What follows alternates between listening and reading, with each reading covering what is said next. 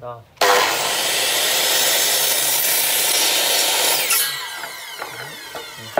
Cái gì mà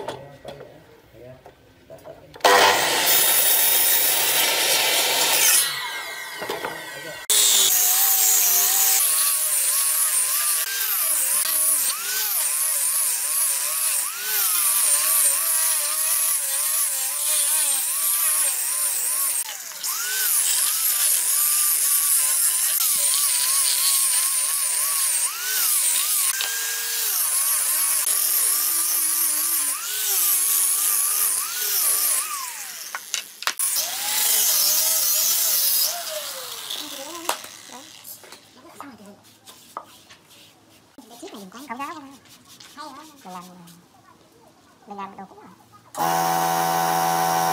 tươi to hơn nó lại nạp quá chứ lại nạp chút nó tươi to hơn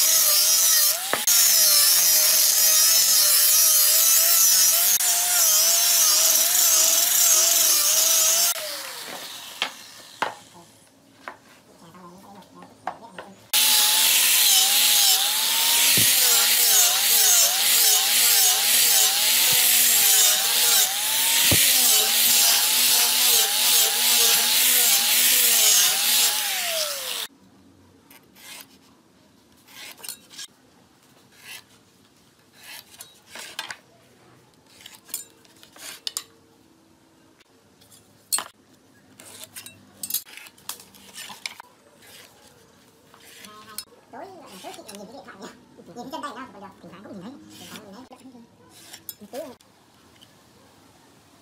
ông gì đã biết tiếng về. Phải nhớ rồi